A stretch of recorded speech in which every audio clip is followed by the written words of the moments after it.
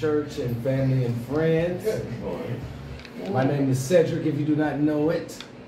We will be coming today from Second Corinthians, the book of Second Corinthians. We uh, started a Bible study this week on Second Corinthians on the letters that Paul is writing to the church. And today we're going to just go back over it and we want to have somewhat of a roundtable just to get some thoughts and feelings about what you all feel from this particular scripture and how we can help use this to change the world and the people in our church. Amen? Amen. Amen. Let us pray first. Dear Heavenly Father, we thank you today for your word, for your anointing, for your favor. Allow our ears and our eyes to be open today to be able to see your word and understand it and hear it. Not just to hear, but for it to minister to our spirit. Use us today to be people of comfort, Lord. That is what you are in your word. Allow us to be vessels to be used by you and allow the anointing you place in us to come out and be used for others throughout the world. We thank you today for today for a revelation in this word. For a mighty name we pray in Jesus' name. Amen. Amen. Second Corinthians. This is about Paul writing letters to the church, the Corinthian church. We spoke about it on Wednesday that this particular church was having some issues, some personal, emotional, spiritual issues. Uh, some of the things that God has asked for us to do as far as the church, this particular church was not doing. They were ostracizing people. They were accepting things that were not reverent to God in the church. And Paul decided to write a letter to encourage them. Now, just give you some background. Paul was Saul and he was a person that killed and persecuted Christians. Mm. Look at how God will change your life. I'm going to say it again. He killed Christians, and now his name is changed to Paul, and now he's writing letters to encourage the church of how to be a better Christian. I'm going to let that sink in for just a second. That it doesn't matter who you are, God can use you. Doesn't matter what your past is, doesn't matter what you've been through. God can use you. Amen. Amen. Now, I'm going to read this first part here for you of Second Corinthians for those of you all that might not have your Bibles or might not be uh, Bible savvy, still trying to turn the pages to find it out. It's the New Testament. And it says, Paul, an apostle of Jesus Christ by the will of God, and Timothy, our brother, unto the church of God which is at Corinth, with all the saints which are in Achaia. Grace be to you and peace from God our Father and from the Lord Jesus Christ. Blessed be God, even the Father of our Lord Jesus Christ, the Father of mercies and the God of all comfort, who cometh in us all our tribulations, that we may be able to comfort them which are in any tribulation, by the comfort wherewithin we ourselves are comforted. For as the suffering of Christ abound in us, so our consolation also aboundeth in Christ. Now we we went through one through four on Bible study on Wednesday, and just those four verses were very, very instrumental in our lives as a Christian. It speaks here in verse 3, it says, Blessed be God, even the Father of our Lord Jesus Christ, the Father of mercies, and the God of all comfort. We went over that Paul was writing this letter not just to encourage the church, and tell them some things maybe to work on, but he also did it to comfort them in Christ. He tells us right here that we serve the God of all comfort. That means each one of us has a different level of comfort that they need in their lives. Nobody is the same.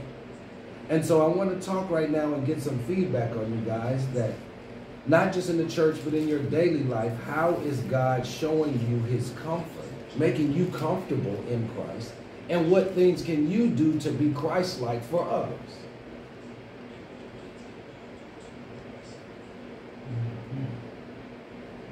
Anybody can speak at any time. I will first say that for me, when it says the God of all comfort, that means he can meet you wherever you're at. That means if you're down, if you've had people in your family that have, say for instance, you have a mother or father issues where they weren't the particular person in your life that you needed for them to be. If you've had molestation issues, if you've had any type of issue in your life that God can meet you there. And he's not just a God that reprimands you, he's a God that gives you comfort. He encourages you. And in the encouragement, he strengthens you in your weakness. Mm-hmm. The word says the weaker you are, the stronger he becomes. I know a lot of times when we have bad things or things that happen in our life, instead of working on the situation, we look for an escape route or ease, or we find somebody who'll help us in our mess. And that gives us temporary comfort. But what happens when those people are gone? Who do you reside in for your comfort? And I don't mean just physical comfort. I mean comfort mentally, spiritually, emotionally. I think in our world right now, we have people that are maybe getting fed in one area and not in the full body.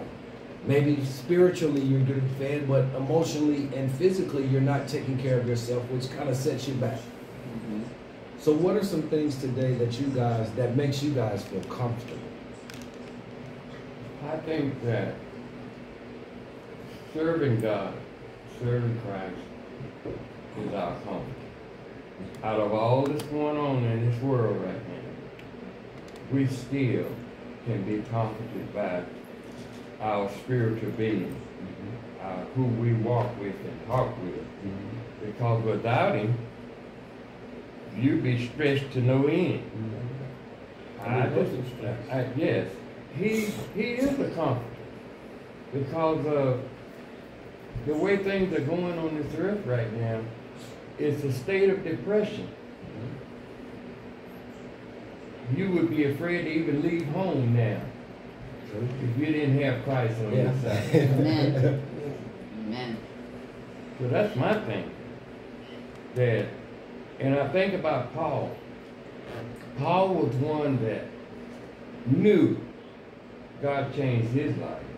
God comforted him because he was doing one of the worst sins that you ever could commit was to be out there killing and persecuting Christians. But God saw fit that he gave him grace and he gave him mercy to change his life. Yeah. And he can also change the way people are living right now if they surrender. Amen. Amen. Amen. Quick question for you guys. With Paul, like you said, on the road to Damascus, if you guys don't know the story, Paul, Saul was on the road to, to Damascus and he went blind. Mm-hmm. He heard the voice of the Lord. And if you notice in the scripture in detail, it says he knew who God's voice was as soon as he heard it. Yes. And my question is, is our world comforted in ourselves or are we comforted in Christ? That's a good question for the world. Are we comforting ourselves? Are we doing things to make us feel good? Because being a Christian ain't always about feeling good. Let me just say that. No. Let me just say that there's some times where you're not going. To it's been some times where I said I don't want to be a believer. I don't want to forgive right now, Lord, and that's being honest and transparent. But are we comforting ourselves with our own emotional things, or are we residing in the comfort of God? Because those are two different things. Our flesh can make us feel like we're comfortable, Mm-hmm. but God gives you. It says He's the God of all Mm-hmm. comfort, which means if it's emotional, spiritual, if you're sad, if you're down, if you're worried about your job, wherever you're at, He's the God of all of that. Yes, he is. So that's my question today, church. And, and for those watching today, pose that question to yourself. Are you living off of your own comfort? Because we can buy things that make us feel comfortable. We can buy shoes, we can get our hair done, we can go get our nails done, we can have surgeries to fix our bodies up. But is that a real comfort or is that a temporary fix? It doesn't last. Mm-hmm. It's not gonna last. Because if you're looking for materialistic comfort, Mm-hmm. it's not going to last, like Sandra says. So you have to believe that the comfort that you're getting is from God. And you must understand how God is working. You can't look at it, well, this is how God's going to comfort me. Mm-hmm. No. You have to learn how God is going to do it all by himself. You can't add nothing to it. So I'm glad you said that. Now, here's a good thing, another thing to think about. Um, how do we get people as believers to a place to where they believe that they can be comforted by Christ? Because I'm gonna tell you right now, as Christians right now, we don't do too many things to encourage other people to come to Christ. Let's be honest. If we look up, if we did a check on Instagram right now, for every person that was a believer and then followed their page and tried to put that with what God's rules and values are, it's not gonna match up. Because I, I, was in the super in the, in the supermarket, and this lady had a getting her groceries, and she was short three dollars and change, mm-hmm. and and I just felt something. I felt something, you know. Mm-hmm. Help her. And I said, yep. And I says, okay. And I said, well, I'll, I'll take care of that for you. And I, and I took care of her. And she looked up. She said, why did you do that? I said, Jesus told me.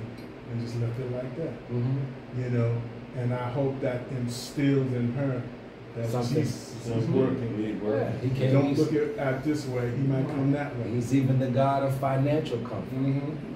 And he also tells us to let your light so shine Yeah. that others may see your good works. Mm-hmm.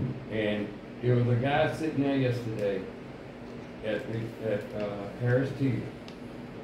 And he would, he said, brother, do you have a couple of dollars you can spare? And I said, yeah, I got it. And I handed it to him. And he said, God bless you. I and I looked at him and I said, there are still some good people in the world, Mm-hmm. Regardless of what's going on, brother. I said, God bless you, and I walked on the way. But he really showed that he appreciated, and he was a veteran. Mm-hmm. He was a veteran of the United States Army. And I understand that they're not being taken care of. And anytime you can show goodness towards people, hold a door open for somebody, whatever. It, it, it's a light that shines that we still have people on earth that are, worthy of being Christians. Mm-hmm. Because that's where we're lacking right now. No, no, there's something I thought about. Even with the world we live in, and we live in a world right now where people are hurting, deep hurt, hurt that you just conversations just can't can't reach, and it makes me think about Paul and his road to Damascus. Because let's let's think about this. Paul knew he was killing Christians, Mhm. even after God saved him. Come on now, he knew. And then God put him right back in the same place that he was at, which means he had to comfort him enough to where he believed I can go back and reach these people. Imagine how many people who saw him, if I'm not mistaken, on the way, the person that God gave a vision to, he said, oh, I'm not going over there with Paul, Lord. With Saul, excuse me. I know what he did. You talking about Saul that was killing the Christians? You want me to go lay hands and minister to him? Yes. So it makes me believe that if we realize first in Christ that this life is not ours. So what you go through has nothing to do with you. You might be placed in that situation just so that you make it through and God puts you in position to help somebody else who has done the same thing. I think we take a lot of situations and issues in life and we make it very personal. And that's the comfort we get. So I'll get mad now because a man cheated on me, so now all men are the same. And that comforts the person they think. And that's really not comforting. It really puts you in a different mind state of how to deal with men in general. Not just saying when men, but women as well. Men do the same thing where one woman may have hurt him and he's not healed, so now he's not able to be a blessing to others. Is carrying that to the next. He's carrying that. Imagine if the people were carrying what Saul did and didn't see Christ. Imagine that. Imagine that means now he can't minister. This is Paul, who was Saul who killed Christians, writing a letter to the church, They could be- they could- reprimanding them They for be what? setting, he setting us up to kill us. That's a that's a That's what they natural that's a That's what they natural thought. thought. Yeah. Yeah, he could be Yeah. setting us up to kill us. Uh-huh. Is he really here for us? Is or he is But see, that's that's human comfort. Right. Yeah. See, we do things and we live throughout our life off our flesh, and that gives us comfort. Right. We show pictures, we do different things, but inside the inner man, one thing about the church in Corinth we talked about, I'm gonna get to you, Brother Ron, is that they were very visual people. Right. So they looked and dressed the part, but were trash on the inside. So I wonder how much of our world is dealing with that right now. Yeah. We put out a presentation that looks good, but the minute we get in the car and get home, it's right back to the nonsense. Is that comfort No. or is that insanity? Brother Ron, just something to think about, church family. Mhm. I thought about about Saul on the road. And I understand why God made him blind. Yeah. I don't want.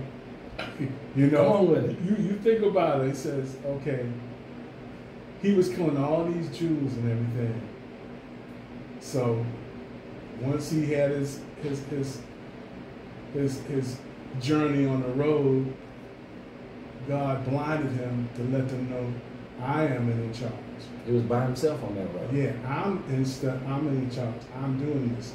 Now I know what you did. I don't forgive you. Mhm. You know, by me making you blind, you thinking that okay, I'm a suffer now, but God gave back your son.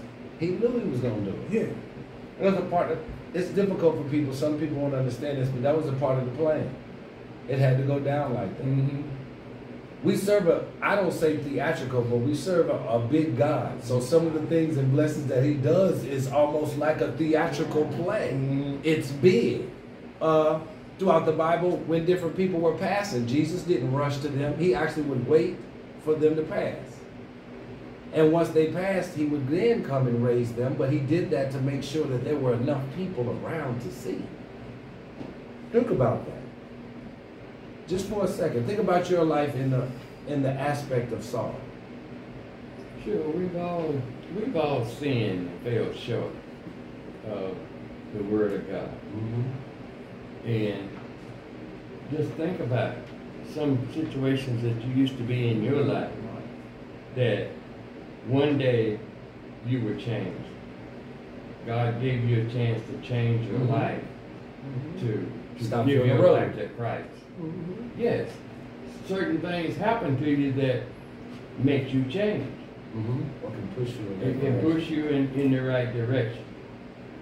Because every one of us sitting at this table have, have sinned and fell short Mhm. of the glory of God. We all do. But He gave us a chance. Mm-hmm. Also, our people today, God is one, but they're not listening. Mm-hmm. Y'all have listening ears. They're not listening at all. Because once he decides what he's gonna do, it's too late. You haven't changed your ways, Mhm. changed your life, and come unto Christ. Because you're lost for the rest of your rest of your days. So I just think that we as a people, we gotta get back to understanding. Stop being so disobedient. We got a disobedient generation right now on every hand. Mm-hmm. And we gotta get back to doing what is right because God is not happy with what's going on right now on this earth. And it's all over the world, not just here in the United States, everywhere. Mm-hmm. Sin is raging. Mm-hmm. So, by us reading this, it means that it is possible for you to change your ways, change your life. I just, we pray for our people every day that they begin to realize they got to change. I'm glad you said that. So I pose this to everyone and we're going to talk about it. you, you've been, someone talked to you about Christ and they showed you Jesus. They showed you examples of what he did. So what are we doing as the church to reach people? Because right now in our world, the church has wounded more people, if not equal or wounded more people than we have helped get saved. Yeah. It said this church, the Corinthian church, was they they ridiculed, they didn't do forgiveness. So you could ask for forgiveness for a sin, and they wouldn't let you back in the church. So my question is, what type of comfort are we leaning on when we judge and we ridicule people that come to church? What if Paul? What if Saul on the road to Damascus said, "I don't want to hear you," even if he went blind? That was a choice. We have a choice every time a new member comes to church. We have a choice to either talk about them or talk to them. What type of comfort are we giving non-believers? Because they're comfortable in what they do. But what are we doing to make it so that way they can see Christ needs to be the head of all comfort? What are we doing as a church? Because, like I said, we've wounded just like this church.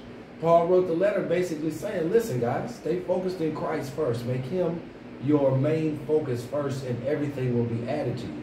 But if we use our flesh, like Brother Ron said, he took away his vision because that's a part of our flesh too. Our eyes are deceiving. So is our flesh.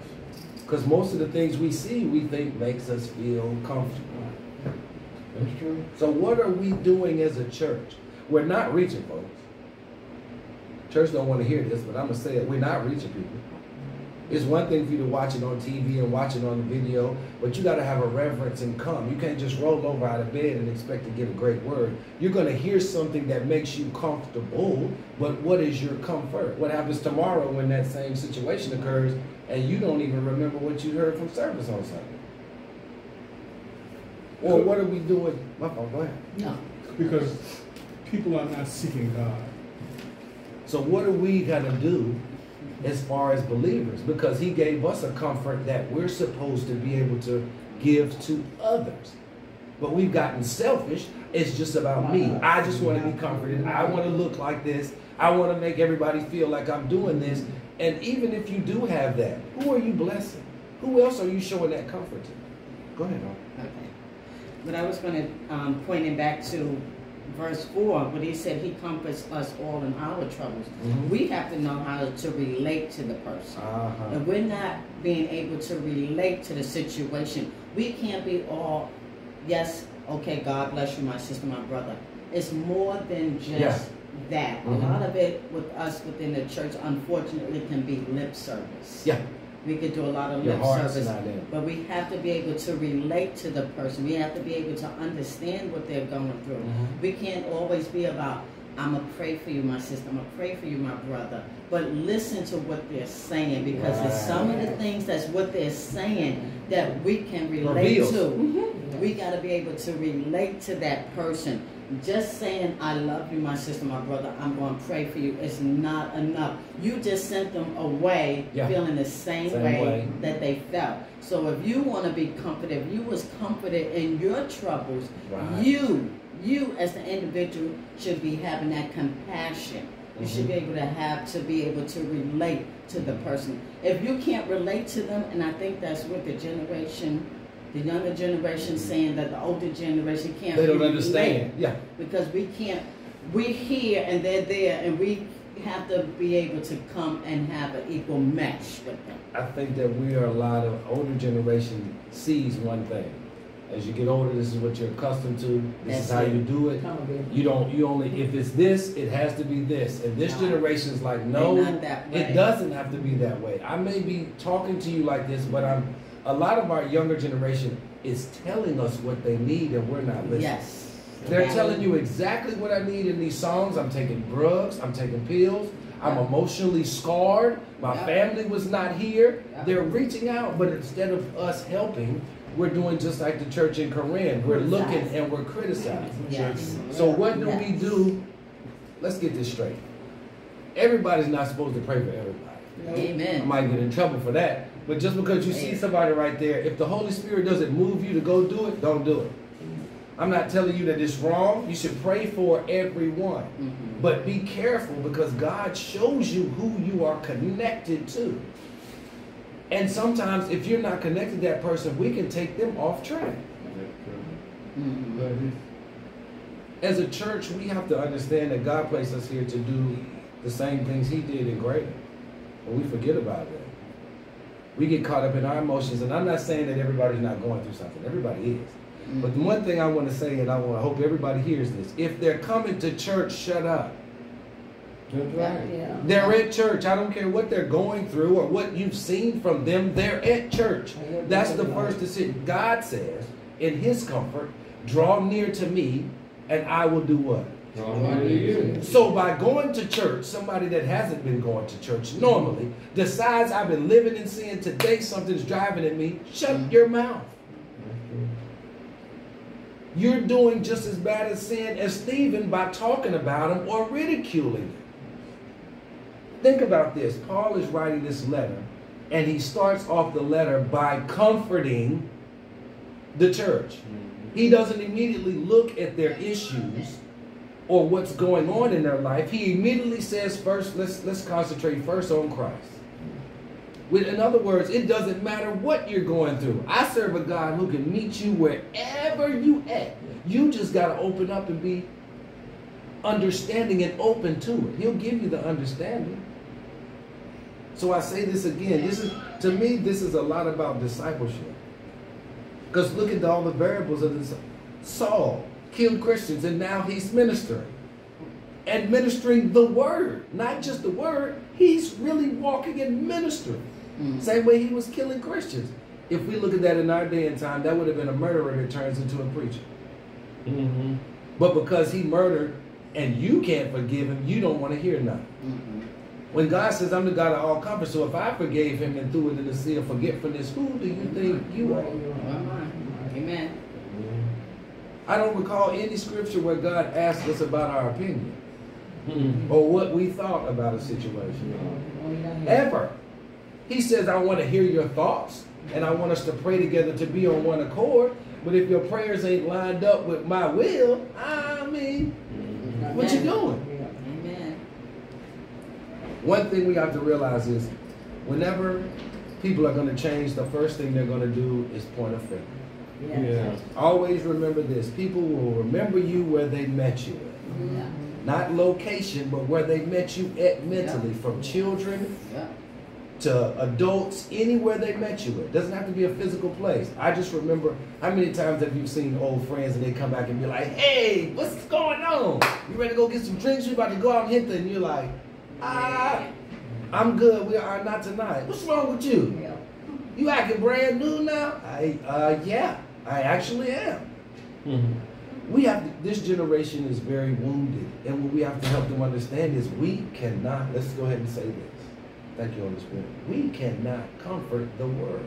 That's His job. Right. Our job is to be in position and to be used by Him.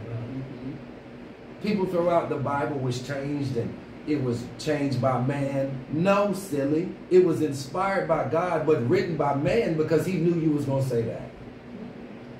And he's been inspiring people to do his will for years. Paul, us, as believers. That's our job. We're supposed to do the same thing Paul does. So are we reaching people as much as we should? That's just a question for everyone. No, the church isn't. The church isn't, and us is, and even if the church stapled, if they're not going to church, what are we doing when we're in our everyday life? Are we comfortable at our job? I just put scriptures and stuff up around my cubby, and I just pray for everybody. That's not using your gift. Mhm. And let me say this for folks: just because you think you're an introvert or an extrovert and you want to stay in the house, and you think staying away from people because you don't like people is going to help you, that has nothing to do with Christ. Period. He placed you here to be an ambassador. Ambassadors don't sit on the side and hide from people. But when he get allows you to see your weaknesses, he gives you comfort in them. And maybe your weakness is exactly what he's going to use for you to bless somebody else. Amen. That's what Paul did. Mm. I want people to realize this. We are in, we went through four verses of a scripture. Just four. And we're digging deep into it. When you start reading the word, ask God to give you revelation and slow down. Don't just rush to read the scripture and be like, oh, I read it today and have completely no understanding of what's going on. You just read it to get comfort. Mm. This is food. That's what it says. Spiritual food. This feeds your spirit. Yeah. So the more you read it, the more revelation he gives you. This is just four verses. We haven't even got to the rest of when Paul when Paul probably really got a hold of them. Number two, notice that Paul did not come with anger nor frustration, nor did he point a finger. First thing he did was say, let's talk about Christ. First and foremost. If you don't put Christ ahead of the situation, you're not going to lead nobody nowhere. Right. not only with with compassion and comfort, you have to be a person that's comfortable with yourself to reach somebody for the Lord. Let me go ahead and say that. Amen. now. Yeah. Y'all folks out here with these nasty attitudes and cussing folks out all the time, don't pray for me. Not that I don't want people to pray for me, but don't pray for me because I don't feel like your prayer is making it up there. God is a God of love. Love doesn't show, doesn't keep track. Love doesn't have a tally. Love doesn't see anger. Love doesn't hold grudges. A part of the reason our world is in trouble is we don't love ourselves. We don't even do ourselves like that. We don't spread joy when we're joyous. If God brought you through something and He showed Himself faithfully in your life, you have no choice but to show joy to other people. How dare you? Mm-hmm. That means you're really not a believer. That means you just got comforted in that situation. Uh-oh. And then if you only find comfort in situations, how many situations do you have to keep getting yourself into to make yourself feel comfortable? Go ahead, bro. Almost like giving a testimony, Mm-hmm. but you don't want to spread or talk to others about what God brought you out of. But you holding it on to yourself. Mm. I'm yet to figure that out. I think that a lot of here's the main thing in our world is a part of this. We're wounded. And we were always taught, especially as men, to never show your weakness or mm-hmm. emotions. Mm-hmm. And now you have men that have been in relationships, that have left relationships, that have left women to raise men in areas where, and let me say this, you women that are raising young men, I know you guys are doing an excellent job, not attacking you all, but you can't teach him how to be no man. No. It's not your job. God didn't create it that way. And regardless what you do, you can. But the fact that the man is not there, that changes the dynamic. So now you have a wounded young man or woman that doesn't know how to deal with emotions. We say daddy issues and we laugh and crack jokes, but a father instills discipline and protector in a family. A mother is a nurturer, she's the healing, she's the backbone. That's why God took a rib. A man can't stand up without his rib. So why do you think God took the rib from a man for a woman?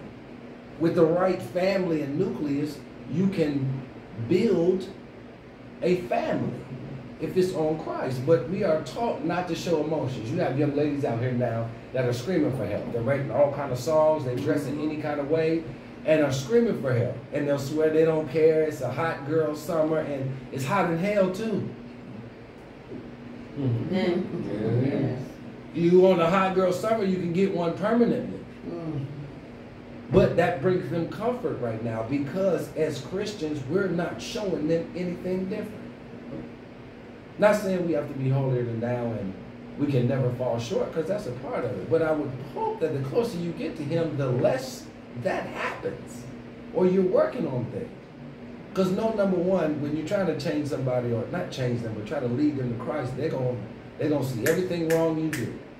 So don't look at it as an attack from them. Look at it as God just showing you some transparency. Because maybe you're supposed to learn something from them, just like they're supposed to learn something from you.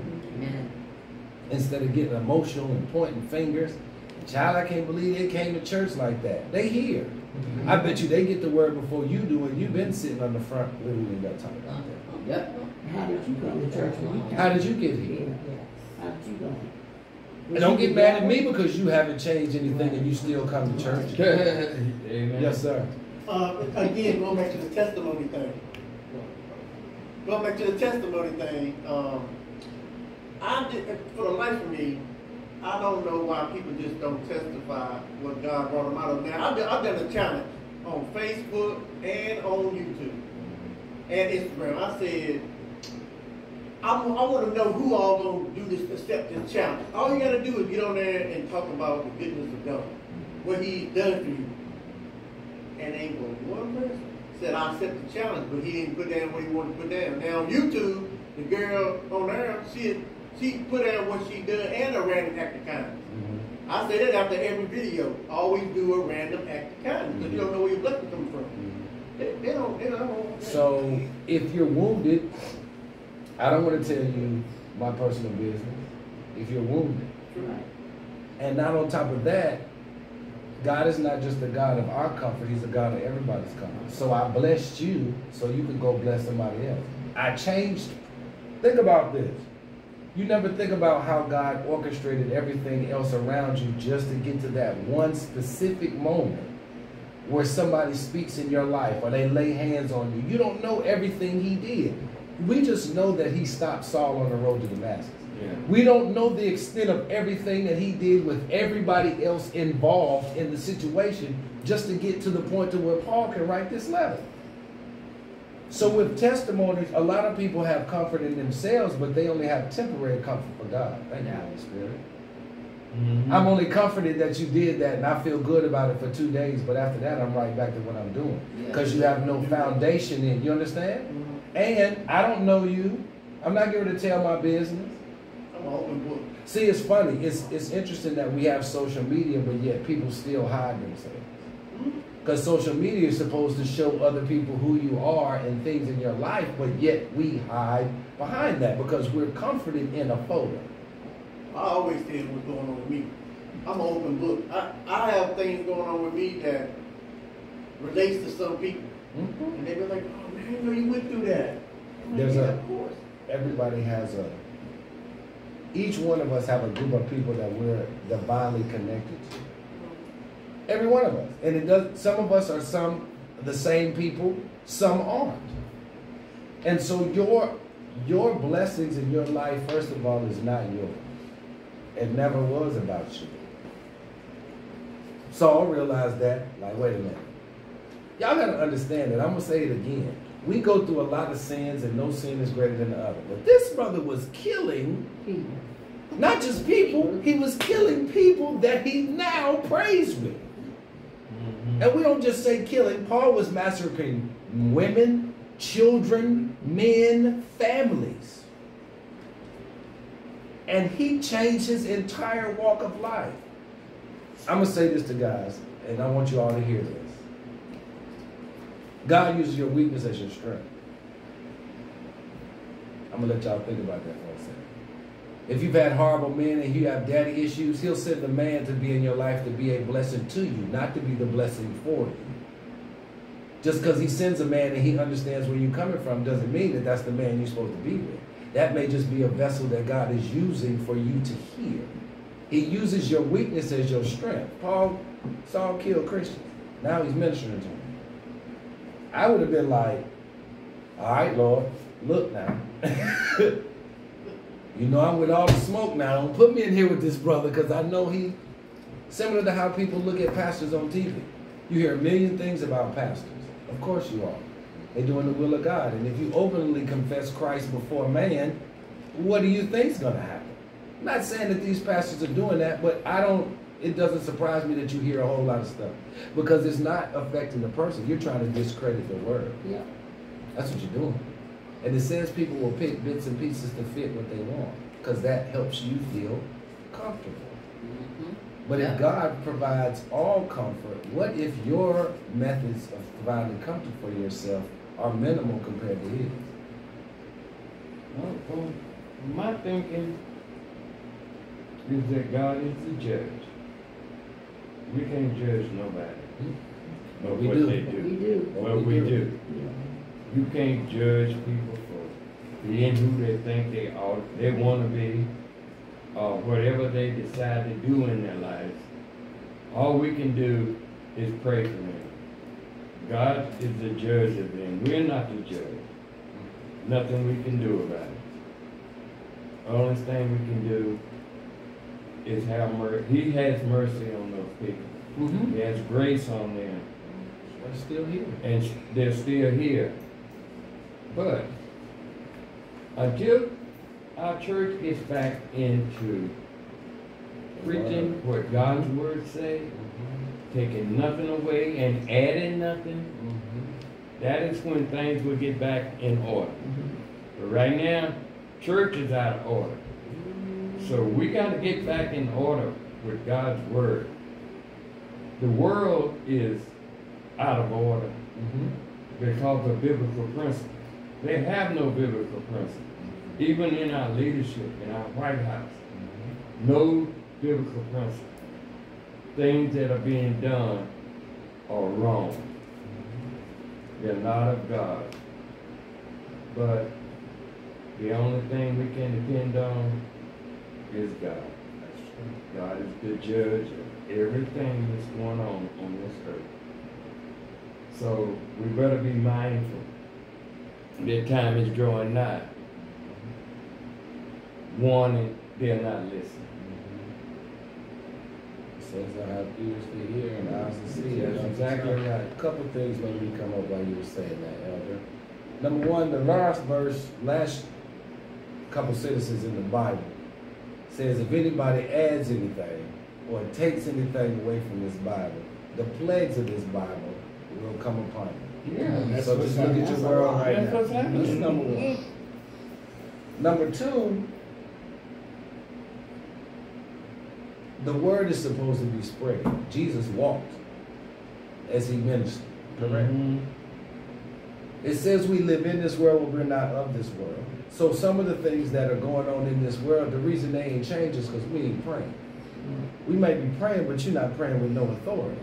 Mhm. You can pray and talk to God all day, but some of them prayers don't even hit the ceiling and come down. We got to put Christ for, first and foremost in our lives. Like I said, Paul probably was upset with this church. He probably could have been angry.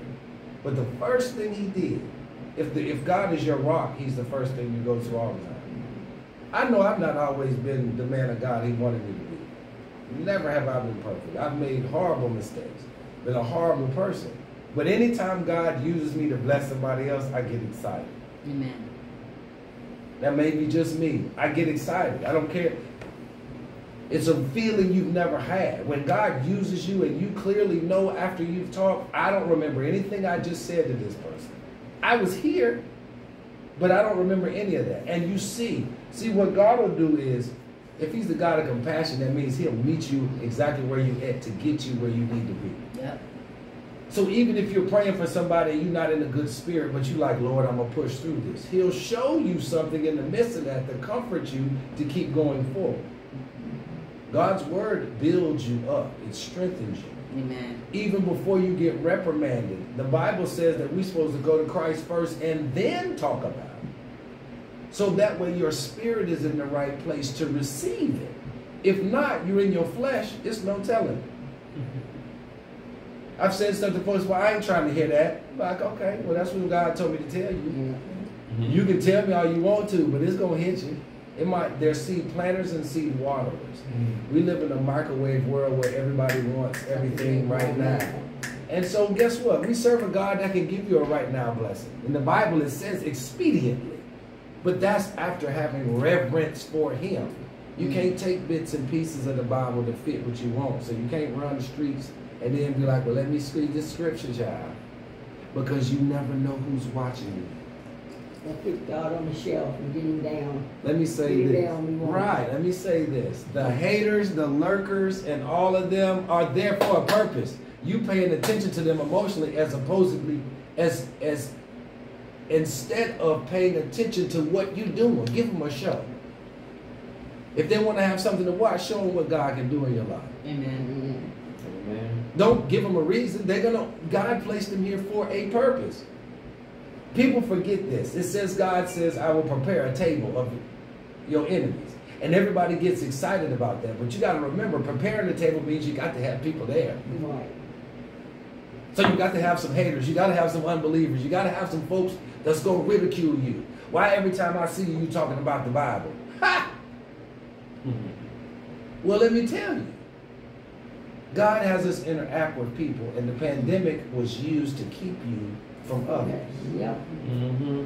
That's exactly. God stopped time and financially gave you. He gave you all of the comfort that you needed. Thank you, Holy Spirit.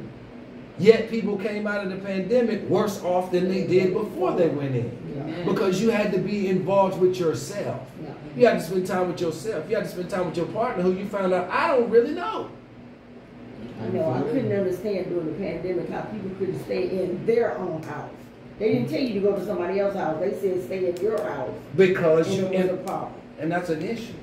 So now when we get out, we already were in a world that was very visual and we don't have to talk. We don't answer phones, we text message. We care about if you saw my message or not. Let me say that. I don't care what color message come back on mine. I will text you back when I feel like.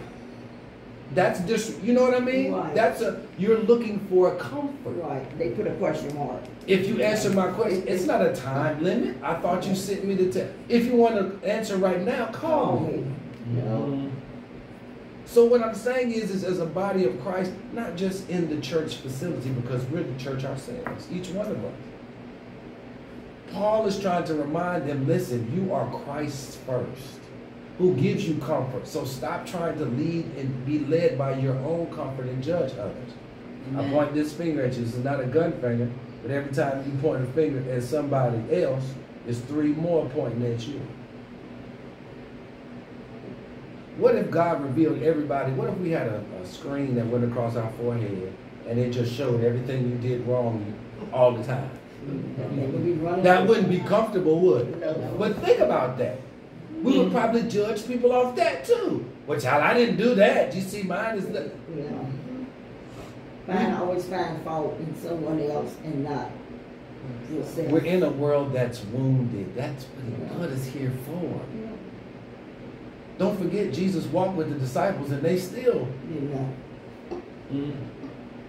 I'm going to give you something even bigger. Even Jesus asked for comfort. Yeah, yeah. Take this, take it away. Take the cup from me. And he asked the disciples to stay up and pray with me, guys.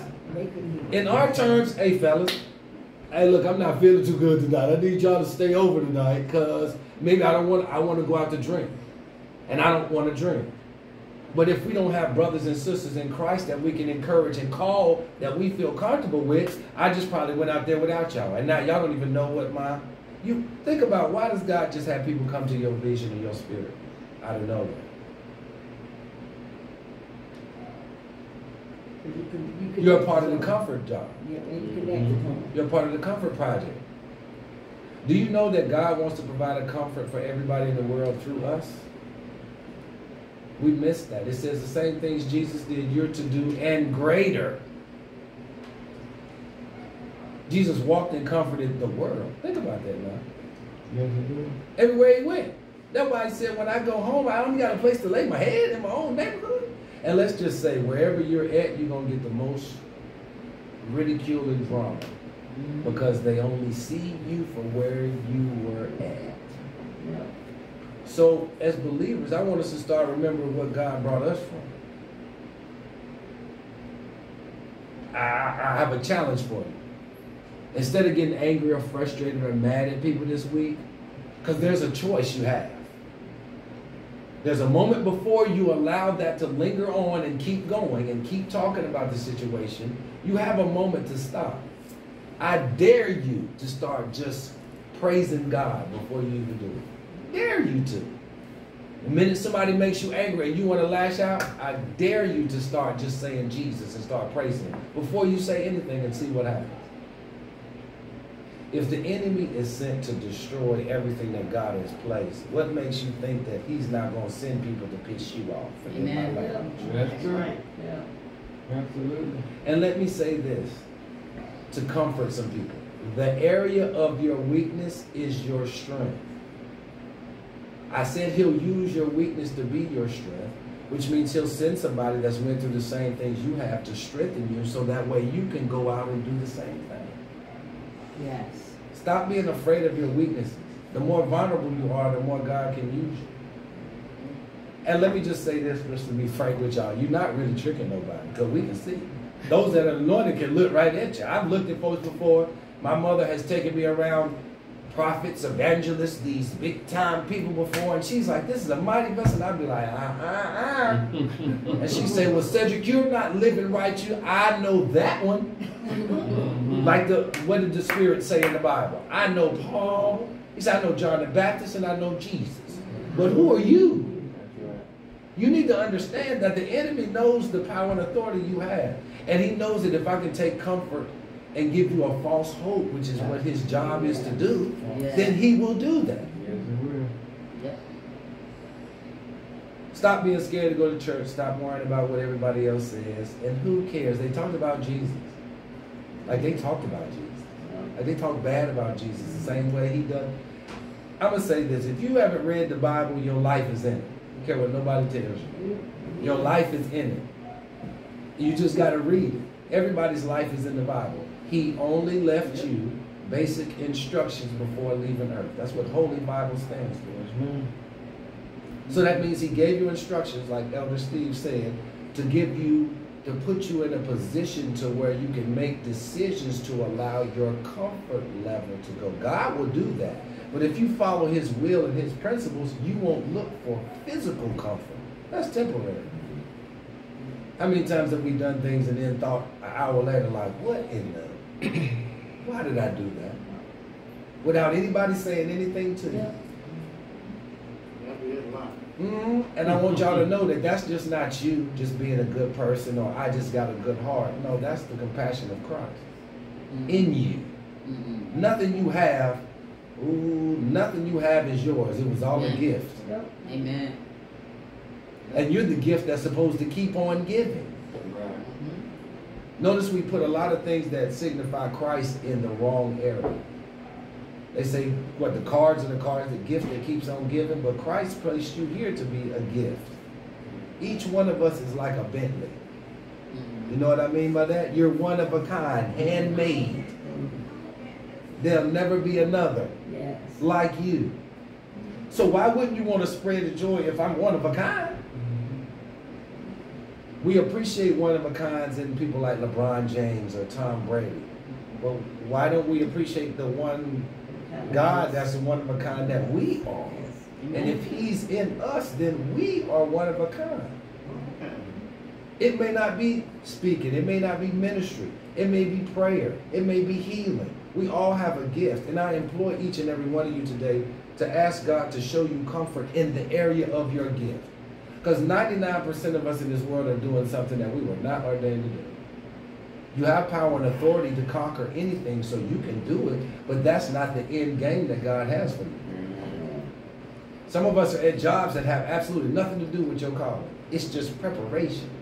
We want everything to happen right now, but in this, even with the letters from Paul to the mm-hmm. church, there's steps and there's a there's a direct how should I say rule system that you got to follow. Our world doesn't follow any rules, and guess what we've done, church? We fall right behind them. I'm talking to the ones that go to church, the ones that don't go to church, the ones that's been members for years that sit on the front row. Sister Anthony and them helped name the church. Thank you. That was your gift, naming the church. Now we have to add to it. I believe Paul was basically telling these folks that God that the enemy is never supposed to be in the church, but y'all bought him in it. We want to talk about the church and talk about people that's in it, but most of them spirits came in there because of you. I think that this is amazing. That's why the first four verses were very interesting to me when I read it because it signifies exactly what's going on right now. People would rather do anything than go to church right now. Do y'all understand that? Stay at home. People will do anything. And their main thing is, I'm gonna get myself together. Yeah, I'm not gonna go to God till I got ne- yeah, myself till- yeah, together. You never gonna get yourself Let me say together. this. Let me look in the camera directly. That's not gonna happen. None of us got it together. Yeah, no. Nobody. I don't have to know you to know none of us have got it together. Each day Yeah. different day. Don't let Instagram and them fool you by seeing these people with all this money because money doesn't give you comfort. Most people with that are very wealthy are miserable. That's a difficult life. You don't know who really is your friend. You don't know who is for you or against you. So now if you don't have Christ and you're wealthy, now you're paranoid. And you're only going to do things in your physical flesh or what your money can do to make you feel comfortable. Some of it's fake money, Huh? though. Some of it's fake money. But then you have people that are grounded in Christ that He's given money to that keep giving it away. See, I'm gonna say this.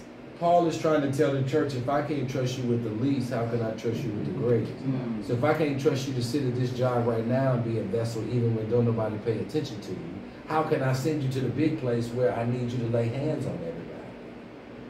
Because if you won't do it here, you're definitely not. Like people say, well, I'll change when I get there.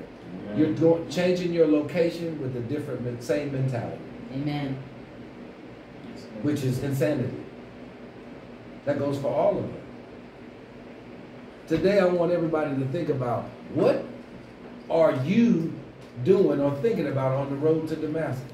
Because all of us are on that road. Mm-hmm.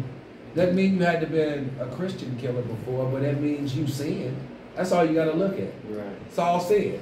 Sin, Regardless what he did, he sinned. And what are you going to do? Because you're on the road to Damascus, and right now God is talking to you. Are you hearing him? Because you know the enemy talks to you too. Let's just get that straight out there. Some of y'all try to say God sent you to do that, and you know good and well that was not his voice. Mm-hmm. He didn't tell you. As many times I've done things, and I said, "Well, I thought the," and God clearly told me that was not me, son. Mm-hmm. You can see that now.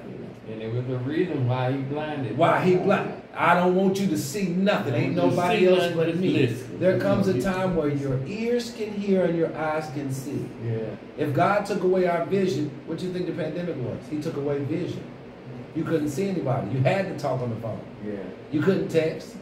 You had to communicate with people, and we came out of that worse than ever. We walk by people that are miserable. We don't speak. We don't interact. We don't hear from Christ because He doesn't live like that, and I'm sure He places us in positions to do His will. Think about it. Saul was going on Damascus. He thought it was a regular day. About to catch me a couple more believers. I'm gonna go on to the crib.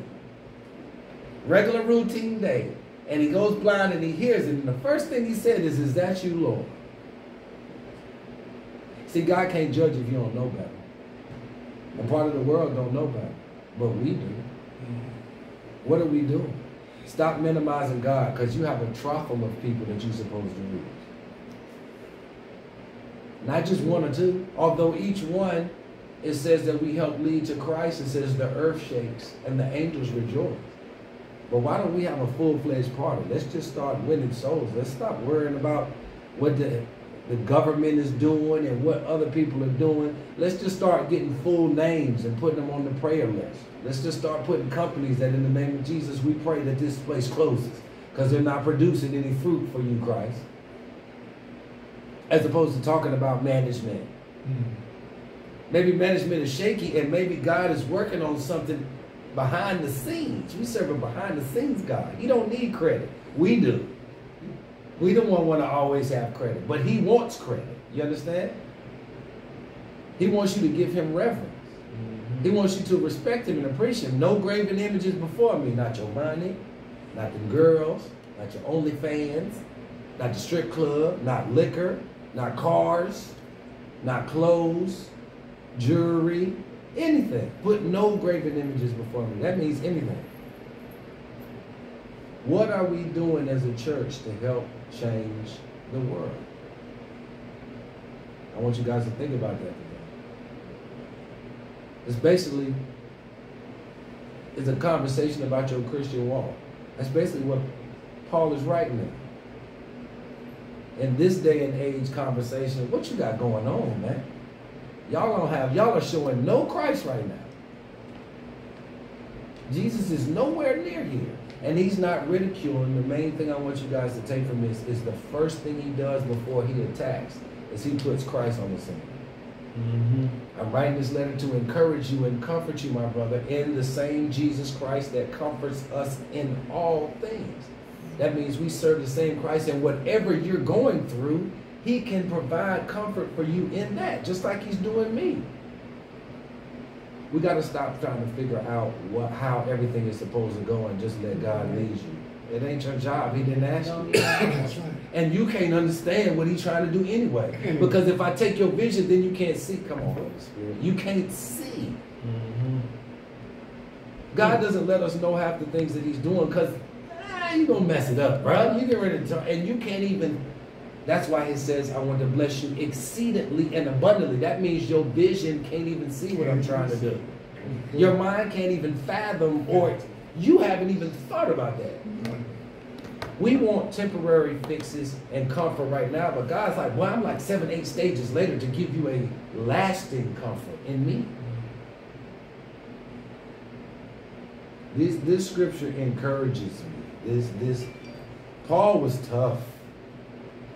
Paul was a tough. Y'all got to think about that. Imagine killing Christians and knowing God tells you you got to go preach to them. Mm-hmm.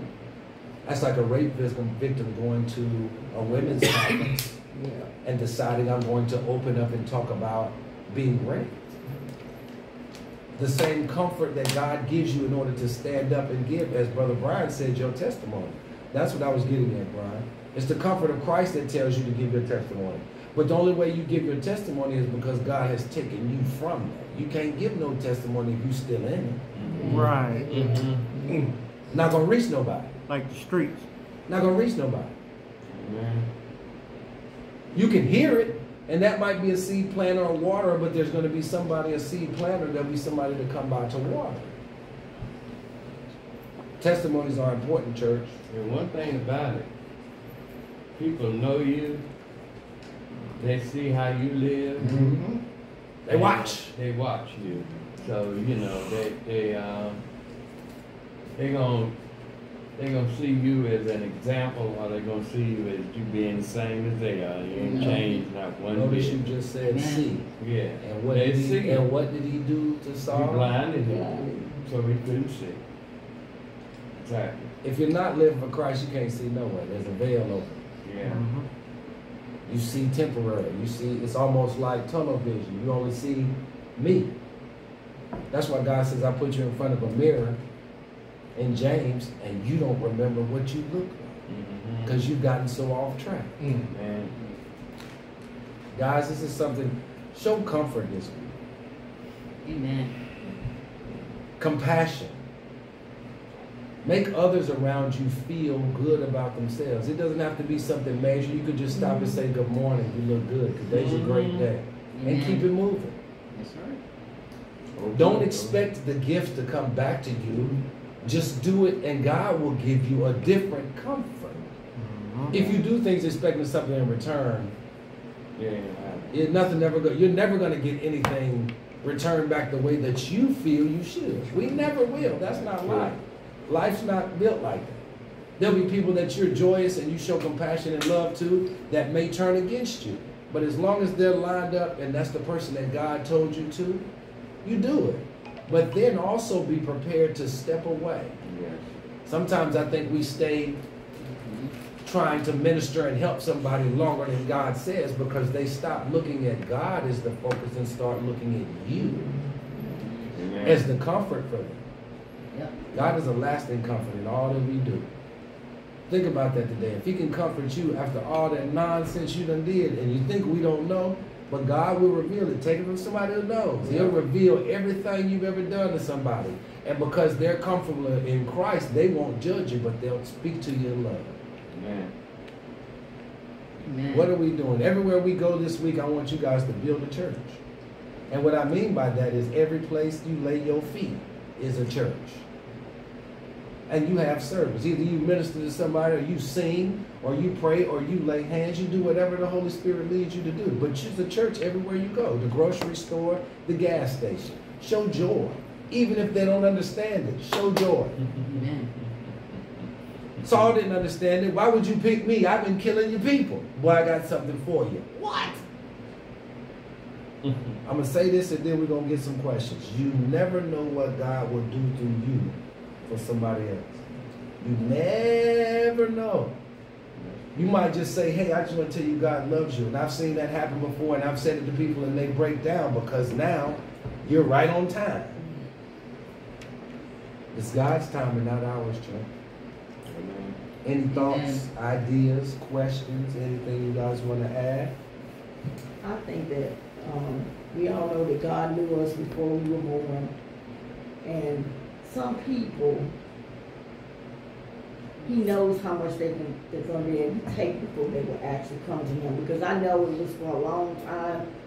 I knew people were telling me about the church. They was, you know, my mama was telling me I need to go to church. People, and it was just like I was just being defiant. Mm-hmm. But that one time mm-hmm. when I see myself about to die, that was it. All of it I like everything. made sense. Everything, else started, you know, started making sense. And then when I leave a situation and then people tell me that, you know those people used to do drugs with? Well, they died. Mhm, they all If I would have been there, I would have been dead. But it's like God took me out right. He let me see it right at the right time. Mm-hmm.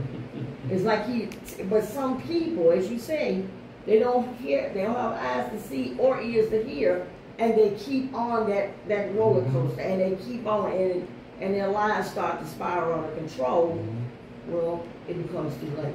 And if you're not lined up with the will of God, what if God has you be one of the people to minister to them right when they at their lowest?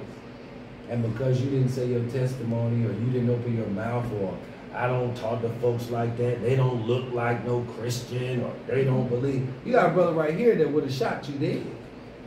That's right. Let's just be real about that. Put this in day terms. Saul was pulling up on the block, ready to hit anybody that was a believer. They go to church on Sunday, whole family. Allow God to use you to be able to relate to this generation and be open to receive it. That's what I tell parents. I'm a basketball coach now. I tell parents listen to the children. Let me say this, and I'm going to give you scripture always. The Bible says a child shall lead them, so you better listen to them. Mm-hmm. And what you think God put him in your presence for? One thing about kids, they're going to hold you accountable. They may not be doing what they're supposed to, but they're going to tell you and they're going to be bluntly honest like, well, you ain't did this, this, and this. And that doesn't mean you have to get upset, but if you are comfortable in yourself, let me say this and then we can start. Pause. When you're comfortable in yourself and comfortable in Christ, you can't make me angry. Y'all might not realize that, but when I'm comfortable in Christ, you can't make me angry. What can you say or do to throw me off?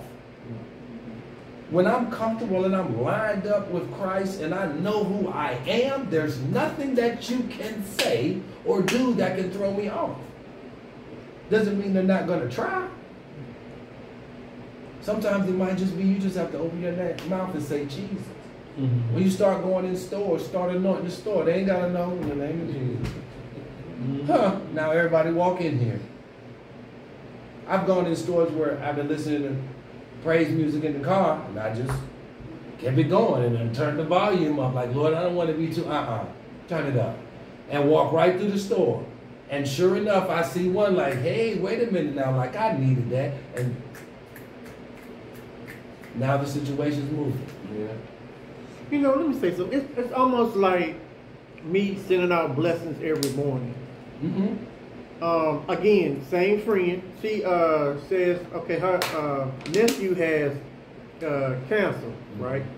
She, whatever I send, she passes it on, Mhm. which passes it on Come on now. until it gets back to a full circle. You can't even see how far it passes them. Right. So every day I send, I put up a blessing. It's it's been going viral, Yeah. and I said, you know what? I read them before I put them on there because I'm like, this is what I'm gonna put on there today, and I can save this one for tomorrow.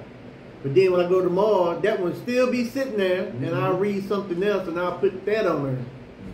So that's what I've been doing every Amen. single day, and I do it on YouTube, Facebook, and Instagram every single day. Somebody gonna see it. It might not even be right now. But notice that you're not looking for the physical comfort.